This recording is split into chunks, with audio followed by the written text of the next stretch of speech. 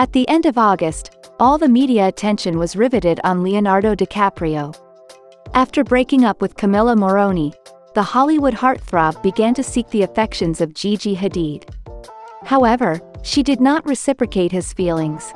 And at this point, like the video and do not forget to subscribe to the channel, it will help promote it. It was rumored that the model is simply not ready for a new relationship, but we are sure that it's quite another matter.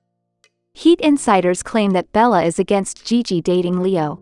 She doesn't think they're right for each other. Bella thinks Gigi is too good for him.